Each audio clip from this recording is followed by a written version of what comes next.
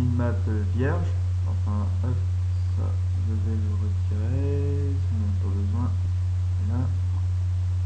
Ensuite, on va utiliser Belgique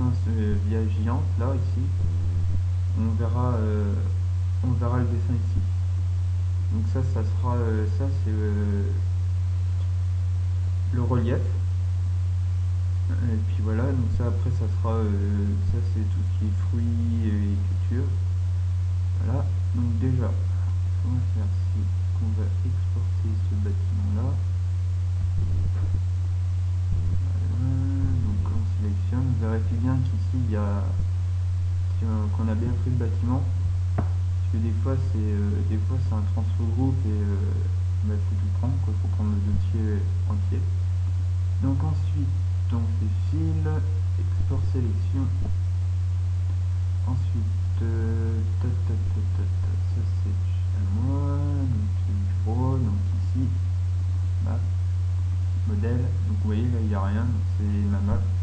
Ce que je conseille c'est de mettre un 0 devant et puis après vous mettez n'importe quoi. Et là, on enregistre. Ensuite, voilà, donc map, modèle, donc. Voilà le hangar. Ensuite, on va éditer. Clic droit éditer. Donc moi c'est Linux, donc ça sera pas la même chose que vous, enfin plus ou moins. Donc ensuite ici, donc là ici, on a le chemin des textures. Déjà, ça c'est la texture. Et euh, donc là on va aller récupérer la texture donc, euh, donc euh, Belgique profonde, ensuite map et BPV2. Voilà. Donc moi, on va faire comme lui, euh, comme Luxe Farm. Donc on va créer un, seul dossier et dedans on va mettre toutes les textures. Donc des fois, les mêmes noms de textures. des fois, on peut avoir des bâtiments qui ont le même, le même nom aux textures. Donc pis, hein. Mettez dedans et puis, puis vous changez. Puis voilà. Donc déjà, texture là on supprime, là on supprime. Voilà, comme ça, vous arrêtez bien ici, sinon ça ne marchera pas. Ensuite, on va aller chercher.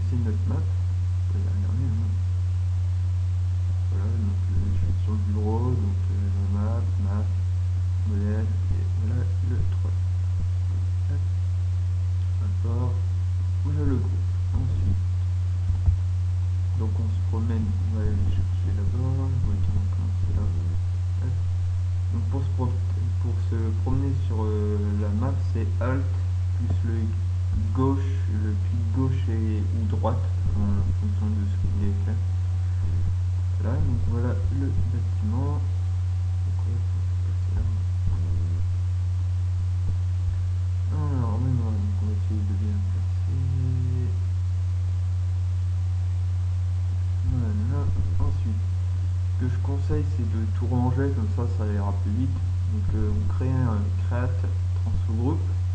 Donc voilà. Donc ensuite, on sélectionne le hangar. On fait CTRL X. On sélectionne le transfert et CTRL V. Et on recolle dedans. Voilà. Voilà. Ensuite ici, donc on peut renommer. Donc ici on va ferme. Et voilà. Donc ensuite là on a bien notre on peut à chaque fois, par exemple si vous voulez une route, créer un transfert groupe, vous renommez les routes et puis dedans vous mettez toutes les 3D routes. C'est simple. Au moins après on s'y retrouve quand on veut la map. Ensuite, donc ça, ensuite on va faire un petit chemin. Donc par exemple, donc c'est ici le crayon rouge. Donc vous allez avoir ça. Ensuite là vous allez voir il y a le petit machin rouge là qui suit ma souris. Donc là ensuite ici on va modifier. Donc ça c'est la taille du cercle. Donc pour un chemin je conseille de mettre 2. 2 c'est bien. Voilà, donc ensuite euh, on va descendre, donc voilà, ensuite ici. Ici, là il y a dire, donc c'est terre, arbre, ensuite il y a, y a roche, sable, gravier, alpha, et puis ainsi de suite. Donc on va mettre de la terre, on pose là, Ensuite si vous voulez que, ça fasse, parce que là, vous voyez ici, là ça met un peu de temps, et bien ensuite on peut remonter et modifier ici en fait. Ici on met jusqu'à pont par exemple. 1 là on va voir que ça fait ça fait direct en fait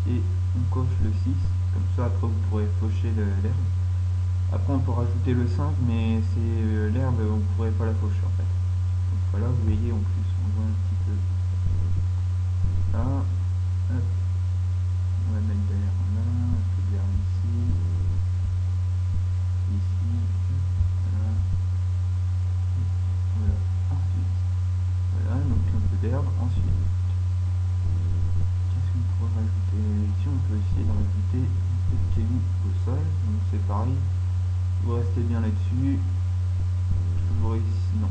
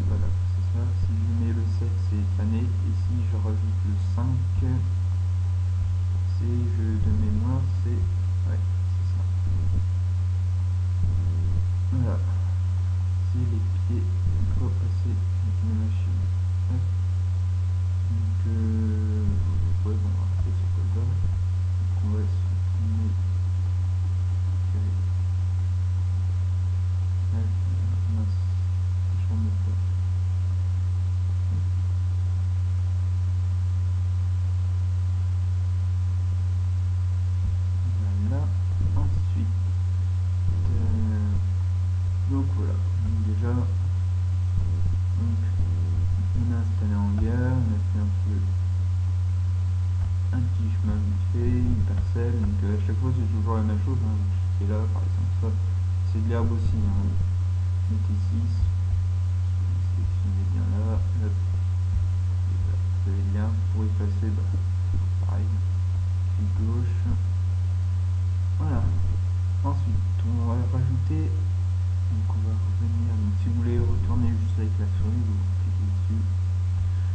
Ensuite, euh, on va moduler un peu le terrain. On va faire un peu de relief. Donc ici, ici relief c'est ici. Ce que je conseille c'est de revenir en cercle. Ensuite on va diminuer un tout petit peu et ici on va diminuer aussi. Donc euh, après c'est selon vous, hein. moi j'aime bien c'est mettre assez bas comme ça, ça met un peu plus de temps. On arrive à être un peu plus précis dans ce qu'on voudrait. Pareil, un clic gauche euh, modifie, donc voilà.